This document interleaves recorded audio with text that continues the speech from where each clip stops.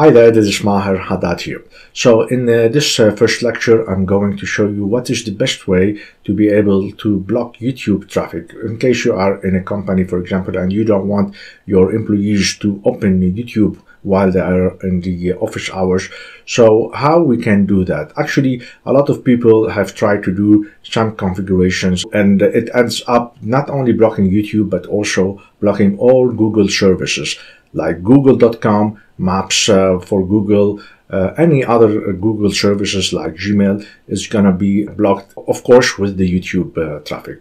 So in uh, this lecture, I'm going to show you how you can specifically just block YouTube and not other Google uh, features or Google services, because as we know that YouTube and Google they are on the same server. So if we block YouTube, we may ending up blocking also the Google services. So how we can do that, that's something I'm going to show to you in this lab. Let's go directly and start with the work.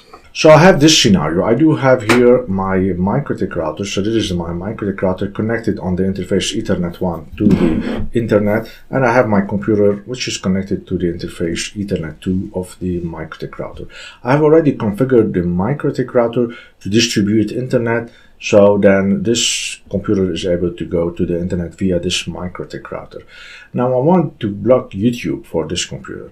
Normally what people do, they collect all the servers of uh, Google, which are also the servers for YouTube because YouTube is a uh, service from Google. So they just get all the servers of Google and what they do, they say anyone trying to go to those servers then block it. That's what you do and on the firewall rule. But you end up also blocking google.com, blocking uh, Google Play Store, blocking uh, Google Maps, and so forth.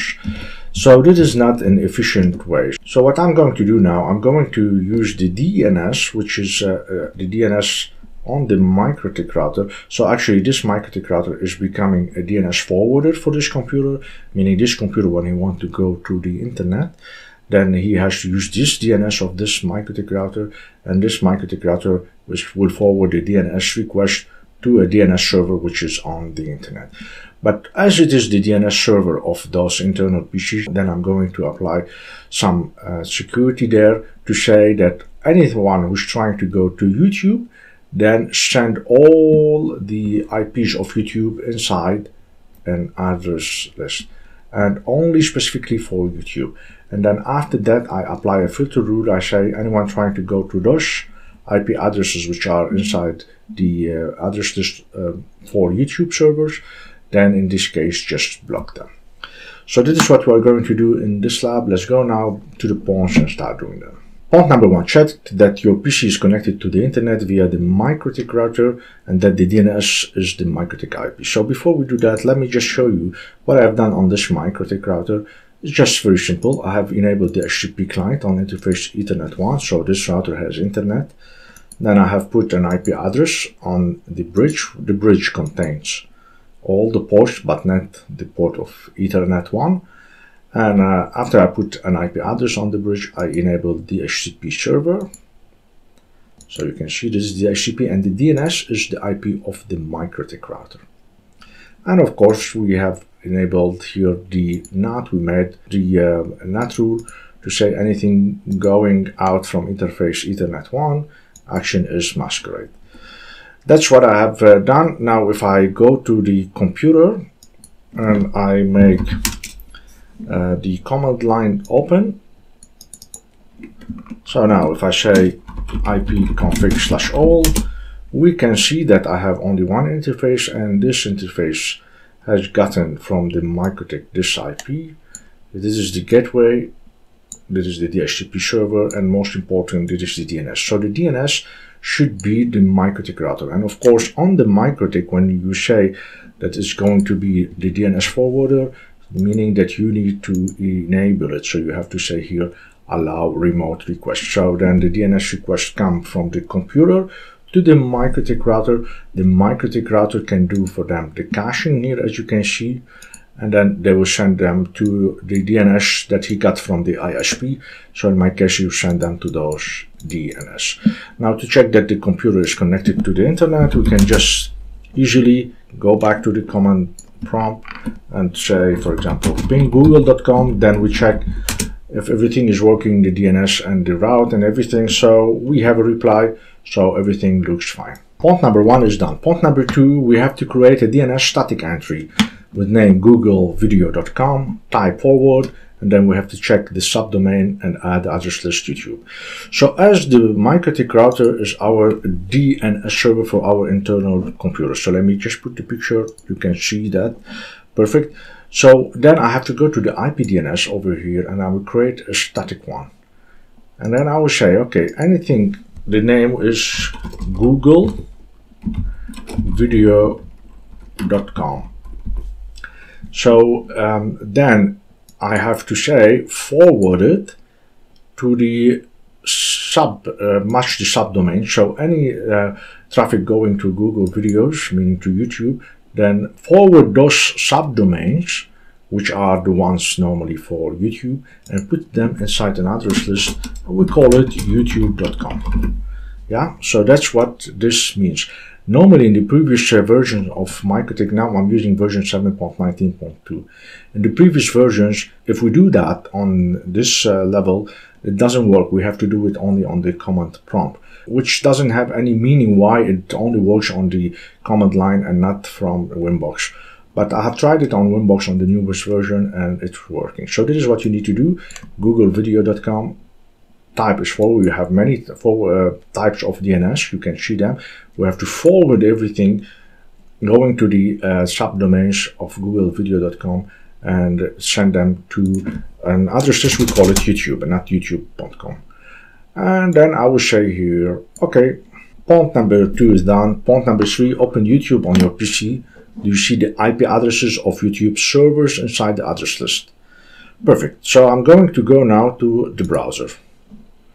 This is my browser and I'm going to go to youtube.com. So this is youtube.com, it's opening.